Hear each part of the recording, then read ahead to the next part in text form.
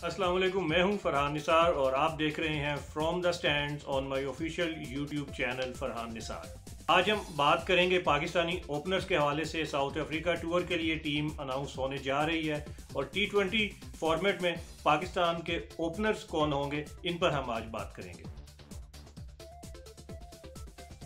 कप्तान बाबर आज़म और मोहम्मद रिजवान पाकिस्तान की टी ट्वेंटी टीम का लाजमी हिस्सा हैं, लेकिन पी एस एल सिक्स में जिन ओपनर्स की परफॉर्मेंस सामने आई, उनमें सबसे नुमाया नाम है शर्जील खान और फ़खर जमान पहले अगर शर्जील खान की बात करें तो उन्होंने पी एस एल सिक्स में 200 रन बनाए हैं 171 का उनका स्ट्राइक रेट है, और जो डॉट बॉल्स की परसेंटेज है, वो 43 परसेंट है। दूसरी जानब फ़खर जमान है 189 रन उन्होंने पी एस एल सिक्स में स्कोर किए।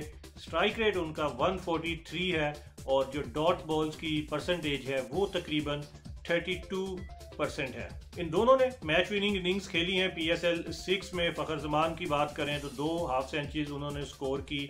इसके अलावा शर्जील खान ने एक धुआंधार सेंचुरी बनाई। तो दोनों इस वक्त जो है, ऐसे ओपनर्स हैं जिनके बारे में बहुत ज़्यादा बात की जा रही है। और ख़ास तौर पर जब बाबर आज़म और मोहम्मद रिजवान को एक ही तर्ज का बैट्समैन कहा जाता है तो फिर यहाँ पर एक जगह ज़रूर बनती है शर्जील खान या फ़खर जमान की।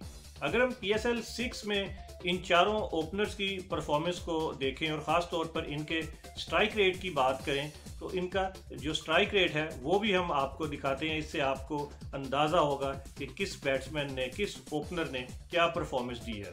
सबसे पहले शर्जील खान की बात करते हैं। पावर प्ले में इनका स्ट्राइक रेट 126.7 रहा है। जबकि जो मिडल ओवर्स हैं, यानी सातवें ओवर से लेकर सोलहवें ओवर तक, उसमें शर्जील का जो स्ट्राइक रेट है, वो 226 है। तमाम ओपनर्स में सबसे ज़्यादा ये उनका स्ट्राइक रेट है और फिर जो डेथ ओवर्स हैं, जो आखिरी चार ओवर्स हैं, उसमें एक ही इनिंग्स खेली शर्जील ने और वहाँ उनका स्ट्राइक रेट 162.5 है।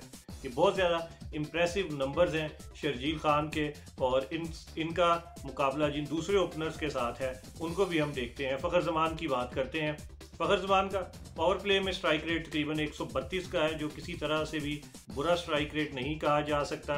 जबकि जो मिडल ओवर्स हैं, वहाँ पर तो फ़खर जमान की परफॉर्मेंस बहुत ज़्यादा अच्छी रही। हमने तस्करा किया कि जो दो उन्होंने हाफ़ सेंचुरी स्कोर की और 160 का स्ट्राइक रेट है फ़खर का सेवन टू सिक्सटीन ओवर तक। और फिर जो आखिरी चार ओवर हैं, वहाँ पर फ़खर जमान का स्ट्राइक रेट 111 है। कप्तान बाबर आज़म बहुत ज़्यादा इम्प्रेसिव रहे हैं। साउथ अफ्रीका के अगेंस्ट सीरीज़ में उन्होंने अपना जो बैटिंग ऑर्डर था, वो तब्दील भी किया, लेकिन पीएसएल में उनके नंबर्स बहुत ज़्यादा अच्छे हैं। पावर प्ले की बात करें तो 130 के करीब उनका स्ट्राइक रेट है नॉट बैड जब हम मिडल ओवर्स में और जो डेथ ओवर्स में आते हैं तो वहाँ पर उनका स्ट्राइक रेट 140 प्लस है और ये बहुत अच्छा स्ट्राइक रेट माना जाता है कि जब फ़ील्ड खुली होती है रन्स करने बाउंड्रीज लगानी इतनी आसान नहीं होती तो वहाँ पर 140 प्लस के स्ट्राइक रेट से खेलना, ये बड़ी ज़बरदस्त बात है बाबर आज़म के लिए।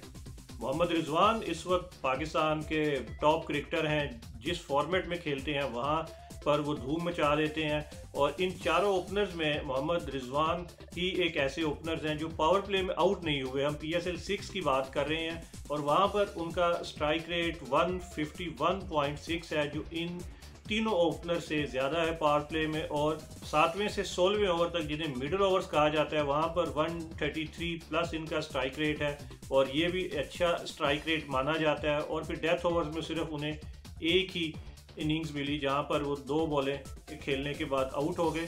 तो ओवरऑल अगर हम देखते हैं तो रिजवान का पावर प्ले में स्ट्राइक रेट बहुत उमदा है। फ़खर और बाबर आज़म मिडल ओवर्स में बहुत अच्छा खेलते हुए दिखाई दे रहे हैं और शर्जील खान ने जो एक धुआंधार इनिंग्स खेली, वहाँ पर उनका मिडल ओवर्स में स्ट्राइक रेट बहुत अच्छा था।